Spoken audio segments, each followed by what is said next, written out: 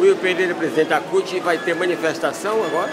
Na verdade, nós vamos estar chamando a plenária sindical para a próxima terça-feira, junto com o movimento sindical, para discutir a possível greve geral no nosso país.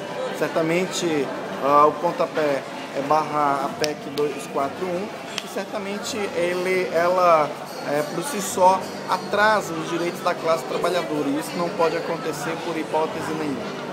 Mas você acha que há mobilização mesmo? A população está mobilizada? Está consciente? Sem sombra de dúvida. Nós estamos fazendo esse debate com a sociedade, com a classe trabalhadora, para que possa ser compreendido de que a 241, que ora vai para o Senado e se transforma a PEC é, 55, ela retira recursos